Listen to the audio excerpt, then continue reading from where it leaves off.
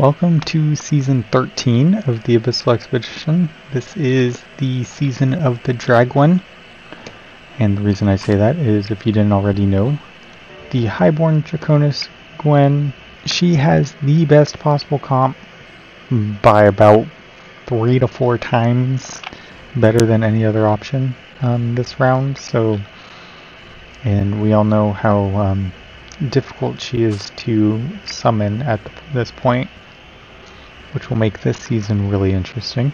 So I don't have her, so this won't really focus on that, but in case you are interested, throw this team together. Key points here, make sure that Silas ults on Dragwyn, and all of the top guilds will have their own proprietary uh, recipe for this one to work out well. But basically you want this 3-star Rowan on both supports, and you're going for attack up, crit up, or CDA. So you stack this team up with those. And you could be looking at up to 80 or 100 billion damage. But anyways, here are a few comps using my suboptimal heroes. These teams will vary a bit per player based on upgrade or collection, so feel free to reach out if you need any substitutions. Overall, the Awakened Belinda comp should be the strongest for most players. Rosalind, Atheus, Awaken Belinda Palmer, Lavatune with Panda Pet looks pretty good. Atheus can sub with Damia, or you can get Jerome and Melian in there too. Ultimately looking at around 12 to 18 billion damage here.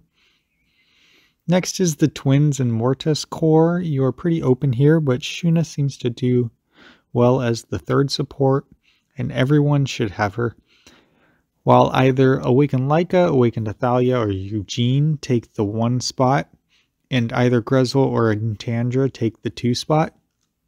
Depending on heroes actually used, this should range from 10 to 18 billion damage.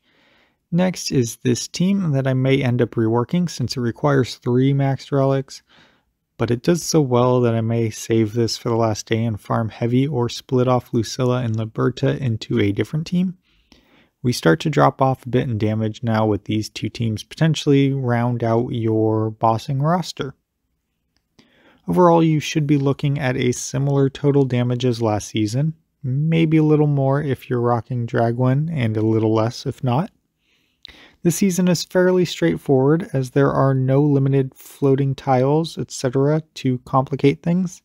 The only advice I really have for the route the guild should take is to go south for the Pearl first, as the northern path has a T8 blocking it. You will want to utilize the water areas for essence gains and get both the totems before attacking the final boss. For starting pathing, you can run Awakened Athalia, Awakened Shemira, Awakened Brutus, Alna with any of them for survival, and will likely want to run support or tank primary relic You'll likely want to max both of these relics out by the end, so as so many teams are reliant on them, but focus whatever works best for the bossing teams you select. For new heroes, Awakened Iron seems to be a decent damage option, potentially adding a couple billion damage to one of the final two teams I mentioned. Aurelia is a good support hero, same with Misha. Even the newest one, Randall, is likely to make his way into a top 5 team, but I don't really have the ability to test them all with my account.